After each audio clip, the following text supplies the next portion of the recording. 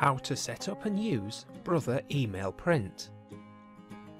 Open a web browser and enter your Brother machine's IP address in order to access its internal web server. If you see a button labelled Open Secure Login, please click it. This might send you to a security warning message. If it does, find and click the button or link similar to this one.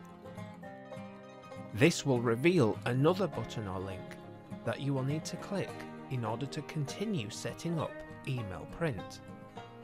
Despite any surrounding warning messages encouraging you not to continue, clicking it to access a Brother machine is completely safe.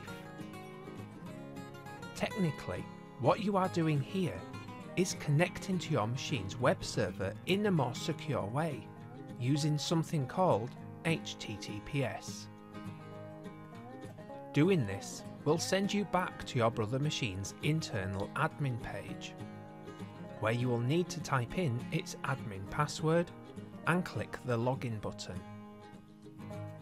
From the navigation menu, click the Online Functions button. Then click the Online Functions Settings button. Before you can proceed, you will need to accept our terms and conditions by clicking this button. If you would like to review these terms and conditions, they can be found at this address. Once you accept them, another tab or window will open, which will reveal this message. When you see it, you will need to physically go to your brother machine and press the OK button. Pressing the OK button will redirect this web page to an online Brother Web Connect site, which is required to complete the rest of the setup. From its navigation menu, click the General Settings button directly under the Email Print option. Then click the Enable button. Your brother machine's unique email address will now show. This is the address that you and other end users will need to send email attachments to in order for your brother machine to automatically print them. If you want to change it, click the Change Email Address button. Next, click the Print Settings button. From here, you can configure your Brother machine to print both the email attachment and the email itself by selecting this option. In this example, I only want to print the email attachment and will unselect it. Next, you will find a small variety of print settings for both documents and images.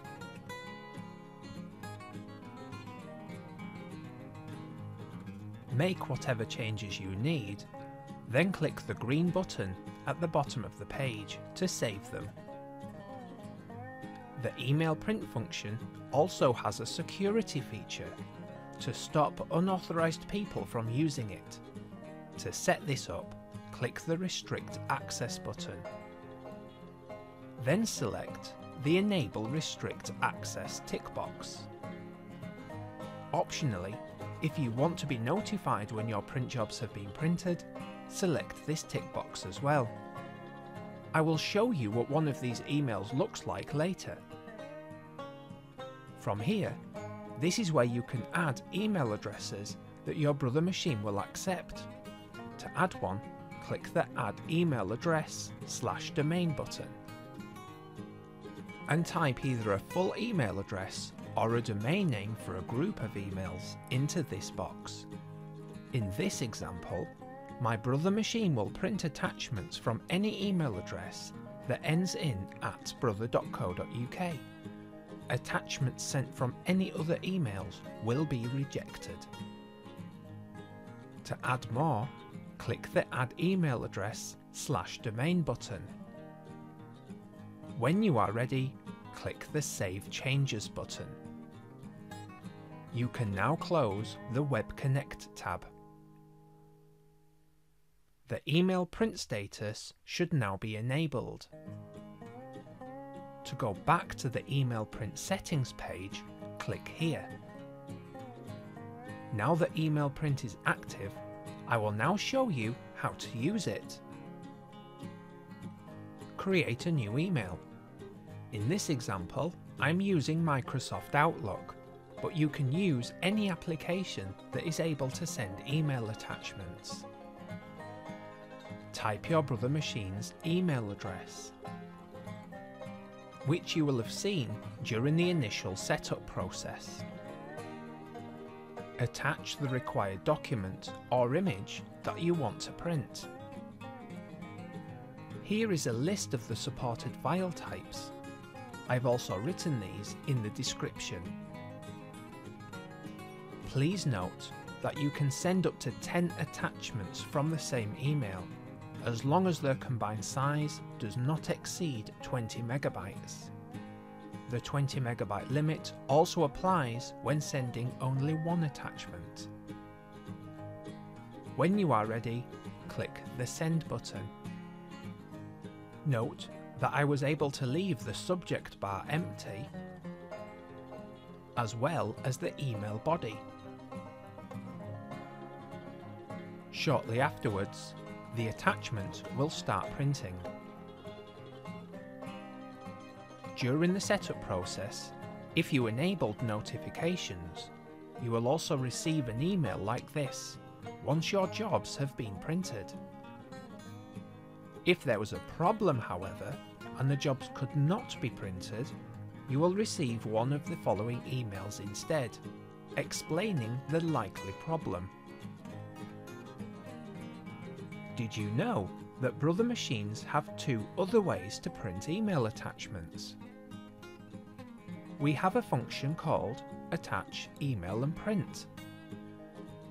This function does not automatically release email attachments to be printed, like the function you have just seen. Instead, your brother machine holds on to them until you tell it to print them.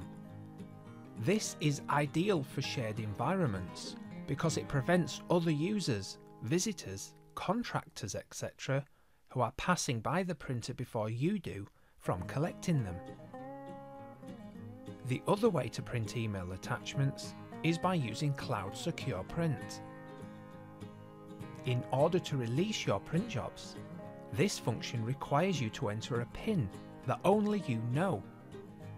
This is ideal when printing sensitive information in shared environments. For more information about how to set up and use these two functions, links can be found in the description. Please note that they might not be available in every country. Thank you